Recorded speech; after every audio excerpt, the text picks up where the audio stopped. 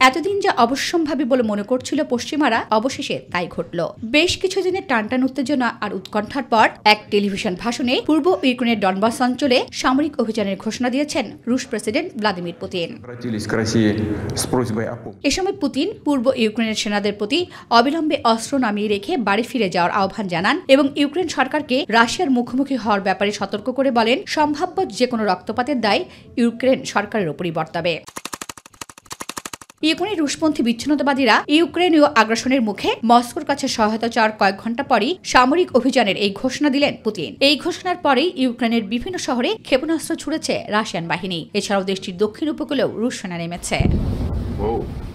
পুতিনের এই ঘোষণার ফলে পূর্বে ন্যাটোর অগ্রসর বন্ধে রাশিয়ার দাবির প্রেক্ষিতে ইউরোপে বৃহৎ যুদ্ধের সূচনার সম্ভাবনা তৈরি হল। এদিকে ইউক্রেনের প্রেসিডেন্ট ভ্লাদিমির জেলেনস্কি এক ভাষণে বলেছেন তারা কোনো ধরনের যুদ্ধই চায় না তবে হামলা হলে তারা নিজেদের রক্ষা করবে বলেও জানান তিনি।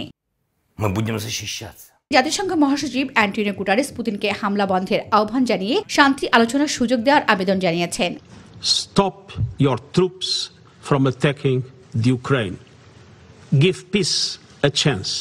অন্যদিকে ইউক্রেনের ওপর রাশিয়ার হামলাকে প্ররোচনাহীন এবং অযৌক্তিক বলে নিন্দা জানিয়ে মার্কিন প্রেসিডেন্ট জো বাইডেন বলেছেন রাশিয়াকে এই সিদ্ধান্তের মূল্য দিতে হবে। বৃহস্পতিবার যে কোনো সময় বাইডেন আমেরিকান নাগরিকদের উদ্দেশ্যে একটি বার্তা দেবেন। সেখানেই তিনি এ ব্যাপারে ঘোষণা দেবেন বলে আশা করা হচ্ছে। পুতিনের যুদ্ধ ঘোষণার পরে ইউক্রেনকে সামরিক সহায়তা দেওয়ার ঘোষণা দিল এখনও সেনা পাঠানোর বিষয়ে চুপ NATO. Marjia Mannan My TV.